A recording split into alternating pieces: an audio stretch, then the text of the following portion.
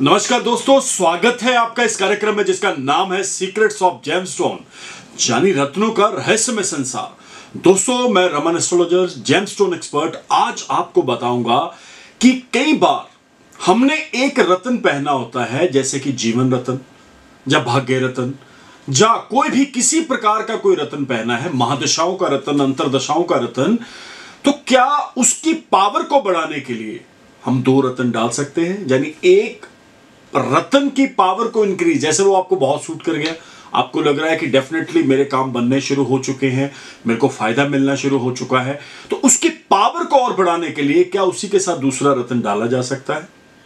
सबसे पहले मैं ये चीज़ बहुत क्लियर कर दूँ कि अगर आपको रतन सूट कर चुका है, रतन आपके हक में आ चुका है, रतन आपकी एनर्जी बॉडी के साथ जुड़ चुका है तो डेफिनेटली आप दूसरा रतन डाल सकते हैं।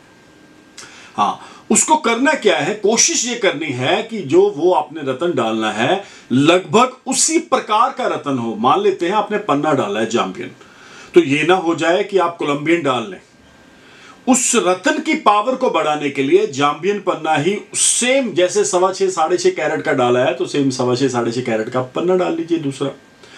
तो क्या उसे एक ही हाथ में डाला जा सकता है या दूसरे हाथ में? तो देखिए बॉडी के चक्रा है उसको बैलेंस करने के लिए आपको पन्ने को दूसरे हाथ की सबसे लिटल छोटी स्मॉल उंगली में डालना पड़ेगा। कोई भी रतन, पन्ना तो एक एग्ज़ाम्पल है।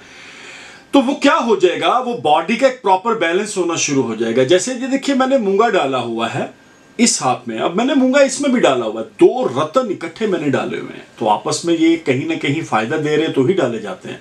अन्यथा नहीं डाले जाते। दोस्तों, एक चीज़ इसी के साथ और क्लियर मैं कर दूँ कि अगर आप ब्रेसलेट भी डालना चाहते हैं तो ब्रेसलेट भी डाला जा सकता है। ये नहीं है कि लिख दिया है कि आपने एक रत्न अंगुली में डाला तो दूसरा भी अंगुली, नहीं, आप उसका ब्रेसलेट भी बनवा के डाल सकते हैं। तो बातें बहुत छोटी हैं, फ़ायदे बहुत ज़्यादा हैं। सोचने की बात यह है कि आपने जब भी रतन लेना है, अच्छी क्वालिटी बढ़िया क्वालिटी हाईएस्ट ग्रेविटी और अच्छी माइंस का होना बहुत ज़रूरी है।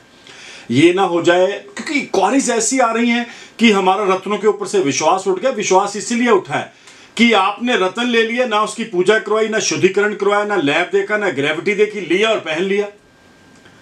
वो रतन काम करेगा सिर्फ़ दस प्रतिशत। अगर आप कुछ टिप्स उन्हें फॉलो करते हैं तो ज़ाहिर सी बात है, मुहूर्त, समय, लगन और पूजा, शुद्धिकरण बहुत मैटर करता है।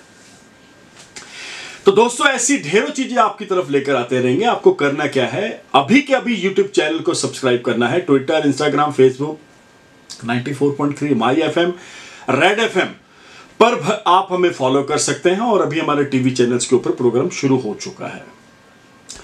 तो आप अगर अपनी कुंडली का विश्लेषण मेरे से करवाना चाहते हैं, ये जो नीचे स्क्रीन पे नंबर भाग रहा है, इसके ऊपर आप कॉल करिए। टेलीफोनिक अपॉइंटमेंट लीजिए, घर बैठे भी आप अपनी कुंडली के बारे में, रत्नों के बारे में टिप्स जान सकते हैं। ज़रूरी नहीं है कि आप चंडीगढ़ आए, विज़िट करें, मिले तो घर बैठे भी आप जान सकते हैं। इसी उम्मीद के साथ मिलते हैं बहुत जल्द। तब तक के लिए नमस्कार, धन्यवाद। Have a nice day